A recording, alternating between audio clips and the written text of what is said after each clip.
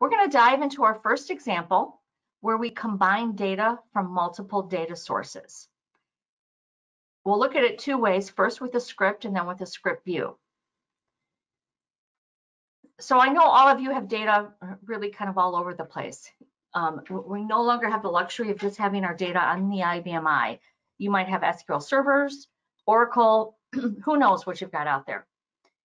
And if you need to ever compare the data when it's on different servers, whether it's comparing it, joining it, or merging it together, like with a union, you've got to get that data on the same server. We cannot query um, data that is on different servers. And the best way to do that is inside of a, a script view. Now, the first step is to bring the data you know, to, to a location. In my example here, I've got data sitting on an SQL Server database, and I also have a file over on the IBM i. And I need to join those together to complete my request. My first execute statement in the script is going to go out to that SQL Server database. In my case, it's named Able Corp, and so I just fill in that server parameter on the execute command.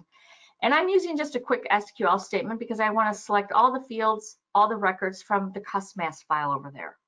And I bring them back here, back locally to the IBM i in an out file in QTemp that I create.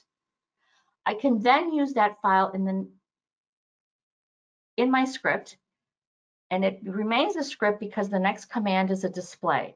And I'm picking on my select clause both fields from the work file I just brought over as well as a file that's on the IBM i. I'm going to join it together and then I can display this.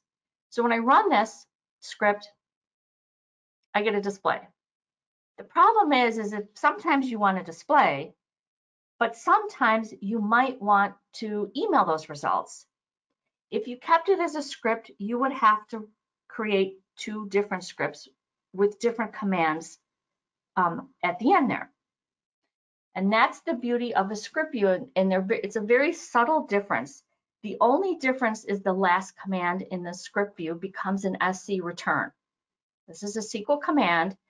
And what that allows us to do is to be dynamic in the run options at runtime. And that's what we mean by it's a script that acts like a view.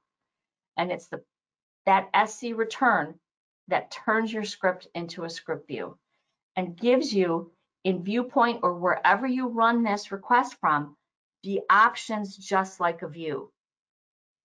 If you take a look at a Viewpoint Explorer list um, under type, you'll see that we do make a distinction between script views and scripts. They do have a slightly different type.